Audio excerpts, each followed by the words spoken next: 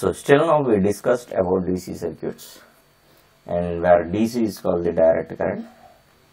The current magnitude or the current characteristics are not changes with respect to time.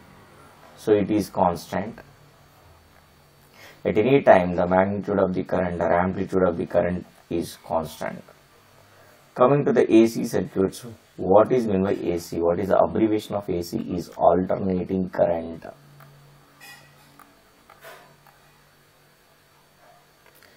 So it should consist of a positive half cycle and a negative half cycle. And the positive half cycle magnitude or a positive off cycle maximum value should be equal to negative maximum and this is I versus omega t. See this is a sine waveform. Why we are preferring the sine waveform is integration of sine is cos and integration of cos is sine. And differentiate this also. Differentiation of cos is minus sine. Differentiation of sine is cos theta. So you are if you are integrating or differentiating you will get the same waveform. The nature of the waveform is sinusoidal same waveform means the nature of the waveform is sinusoidal if i am taking the reference at this point then it is a cosine waveform. If I am taking the reference at this point then it is called as a sine waveform. And AC is uh, characteristics uh, are changes with respect to time. It consists of a positive half cycle and as well as the negative half cycle. And alternating current has a frequency that means what is mean frequency is number of cycles per second. But DC has no frequency number of cycles are equal to 0 and Thomas Alva Edison he who invented Thomas Alva Edison is invented DC and Nikola Tesla was invented AC. War was happened uh, between a DC and AC systems. And DC we are having a resistance uh, generally conductors has a resistance. In a DC we are having I square R losses. I square R losses are more. Due to this the heat produced is also more. Then the efficiency will be decreases. Coming to the AC what will happen? So with the help of a transformers we can go for the higher voltages. We can step up the voltages. If we step up the voltages the current values will be less and the I square R losses are less. The transmission losses are reduces with the step up voltages. We can step up or step down the voltages with the help of a transformer.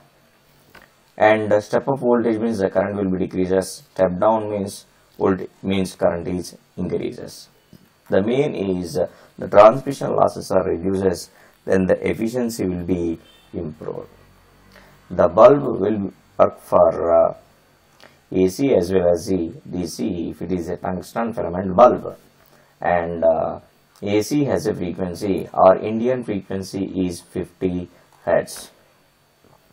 And uh, all developed countries like Japan, US and uh, their frequency is 60 hertz.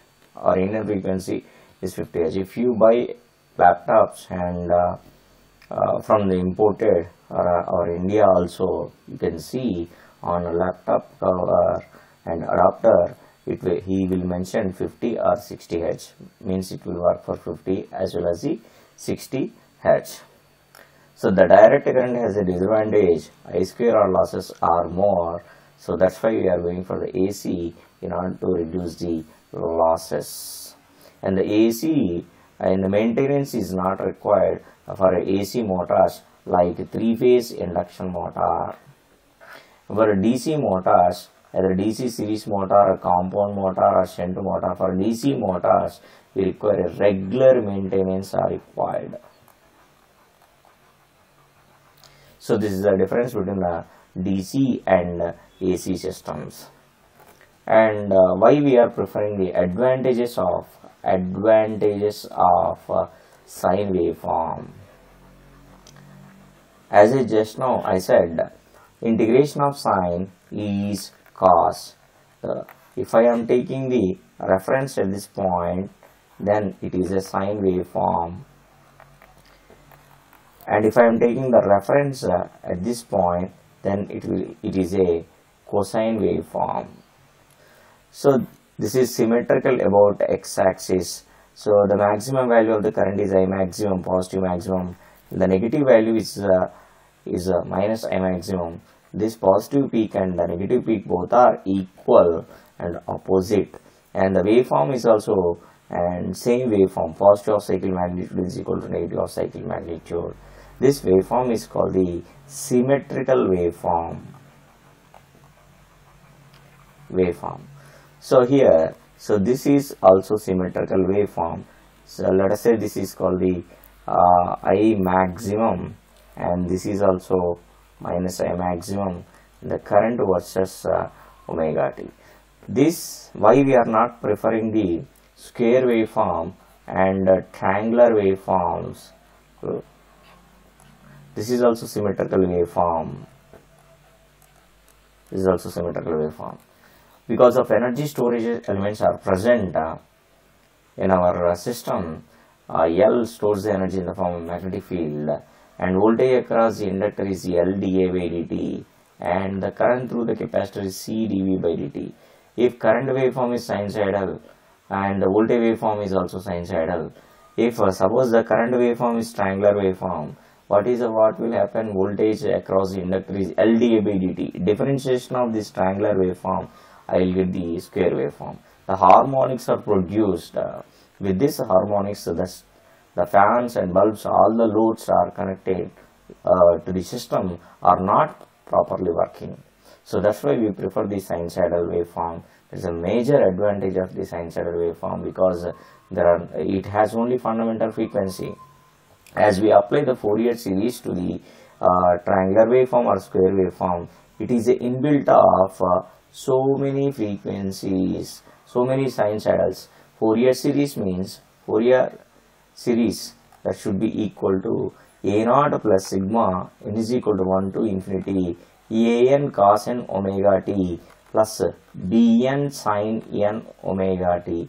So the x of t function can be written as so many sinusoidals. If you add all these waveforms with the multiple frequencies cos suppose if n value is 1 cos omega t if n value is 2 cos 2 omega t. If n value is 3, cos 3 omega t, where omega is the fundamental frequency, 2 omega means uh, 2 times of fundamental frequency, that is 2 omega, 2 into 50 means 100 hertz because uh, we are using uh, 50 hertz frequency. 3 omega means 150 hertz, this is 100 hertz. But all the systems are working only for 50 hertz. We have to eliminate all these harmonics. Uh, and if you add all the harmonics then I will get the square waveform.